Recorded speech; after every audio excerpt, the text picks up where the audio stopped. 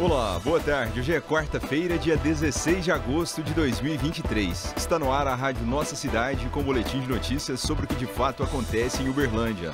Eu sou o Fernando Castro e começamos com os destaques da edição de hoje. Rádio Nossa Cidade. Uberlândia 135 anos. Prefeitura lança campanha Eu Sou Uberlândia. Campanha de vacinação contra a gripe volta a ser prorrogada.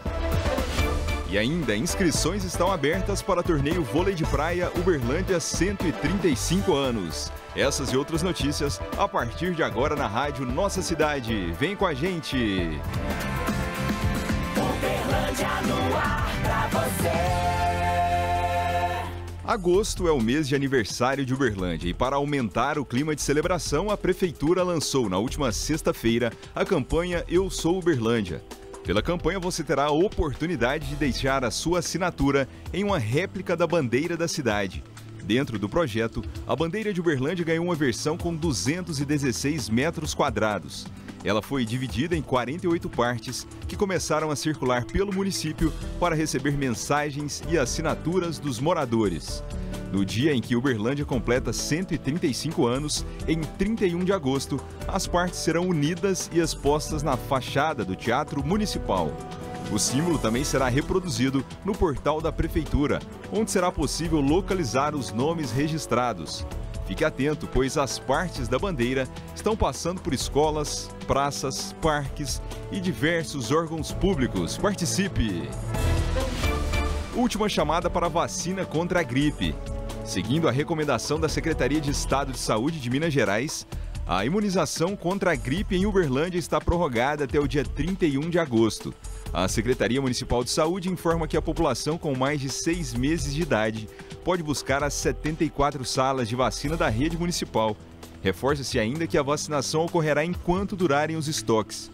Até o momento foram aplicadas 231.175 doses, o que representa 56,64% da cobertura em relação ao público-alvo.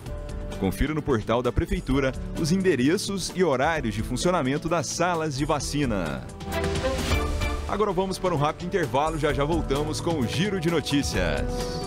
Essa é a capa de chuva da Ana, mas podia ser da Cláudia, da Valentina. Ela, óbvio, protege da chuva e também serve para compor aquele look. Mas também é uma capa da invisibilidade, porque às vezes a Ana não aparece na escola. É porque ela é uma dentre quatro garotas que falta aula por não ter absorvente. Por isso, a prefeitura lançou o programa Cuidado Íntimo. Ele garante acesso a absorventes para alunas da rede municipal inscritas no CAD Único. Esse programa promove a saúde menstrual e que isso não seja mais um problema para que nenhuma garota falte à aula. Berlândia tá enorme, mas cuidar das nossas meninas deixa nosso coração bem grandão.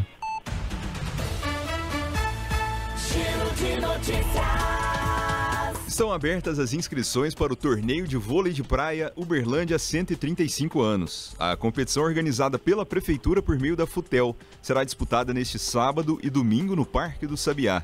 As inscrições são voltadas a pessoas com idade mínima de 16 anos e seguirão até o preenchimento de todas as vagas disponibilizadas, sendo oito para duplas masculinas e outras oito para duplas femininas.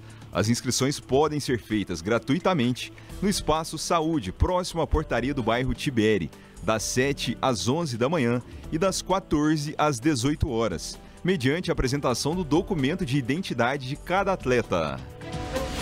O programa Nota Certa segue com o cronograma mensal de sorteios.